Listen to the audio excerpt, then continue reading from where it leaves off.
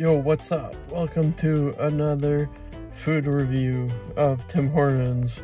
Woohoo! Today we're gonna be tasting the Smiley Cookie, which is, I think the ice got stuck onto the paper, so rest in peace. So, let's try it out.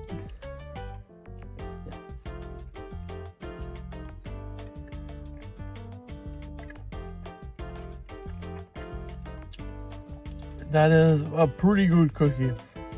10 out of 10. And since it's for uh, ch charity, plus 2 automatically to this uh, rating. So let me give it one more taste.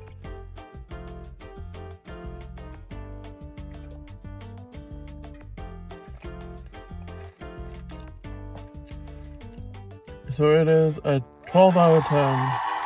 10 out of 10 without the charity, but 12 out of 10 with the charity.